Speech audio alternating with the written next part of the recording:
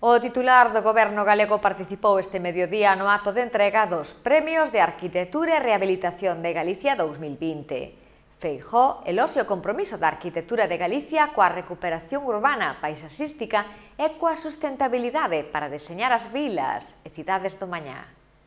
O presidente do Goberno galego, Alberto Núñez Feijó, eloxiou o compromiso da arquitectura de Galicia coa recuperación urbana, paisaxística e coa sustentabilidade para deseñar as vilas e cidades do mañá, durante o acto de entrega dos premios de Arquitectura e Rehabilitación de Galicia 2020 que este ano recaeron en Manuel Gallego Jorreto, a Escola Infantil en Abeigadaña, a reconstrución dunha vivenda afectada pola vaga de lumes en Galicia, a rehabilitación dunha vivenda e a intervención nunha bodega e área etnoturística, así como a rehabilitación dun edificio para oito vivendas. Feijó destacou a implicación dos profesionais do sector na recuperación do patrimonio urbanístico, no envelecemento de poboacións e posta en valor da cultura paisaxística, así como a aposta pola sustentabilidade ambiental e a eficiencia, sen sacrificar a funcionalidade nin a estética.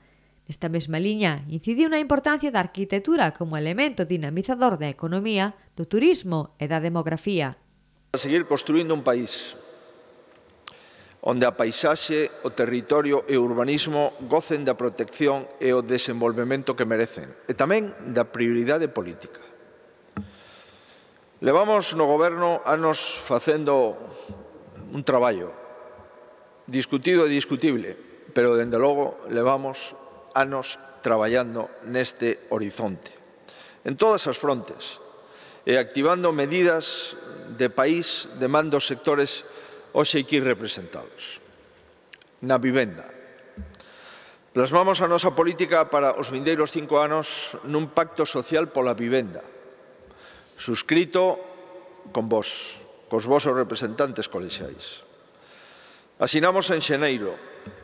Vamos a mobilizar un pouco máis de mil millóns de euros Sobre este punto, o titular da Xunta recordou que o Executivo Autonómico leva anos desenvolvendo iniciativas en todas as frontes, activando medidas de país, plasmando a política para os vindeiros cinco anos no Pato Social pola Vivenda asinado en Xaneiro e que mobilizará máis de 1.080 millóns para beneficiar 70.000 familias, ademais de contribuir a xerar ou manter 30.000 empregos.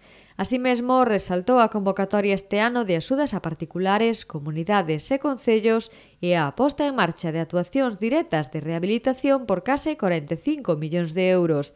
Entre eles, 4,5 millóns do Fondo de Cooperación que se concederán en forma de préstamos en suros a concellos de menos de 50.000 habitantes. 10 millóns formarán parte do programa Resurbe para rehabilitar zonas degradadas. 7,6 millóns estarán destinados a áreas de rehabilitación integral. No ano 2019 entrou en vigor a primeira Lei de Rehabilitación de Galicia en 40 anos de autonomía. No ano 2020 activamos o regulamento da Lei de Protección da Paisaxe. No ano 2021 entraron as directrices da paisaxe e a nova Lei de Ordenación do Territorio coa que apechamos o círculo do proceso de renovación urbanística E este ano 21, levamos 4 meses, aprobamos o novo Plan Estratégico da Paisaxe de Galicia 21-24, co que pretendemos mobilizar 40 millóns de euros. Pero queremos facer unha lei de arquitectura de Galicia. Sería tamén, xunto coa lei de rehabilitación, por primeira vez, este ano que celebramos os 40 anos de autogoberno, de ter unha legislación específica para ordenar, para regular e tamén para impulsar o valor da arquitectura no noso ordenamento xurídico e tamén, sobre todo, no impacto que supón desde o punto de vista da mensaxe que temos que lanzar a todo o sector da construcción, a todas as administracións públicas e, por suposto, tamén a todos os cidadáns.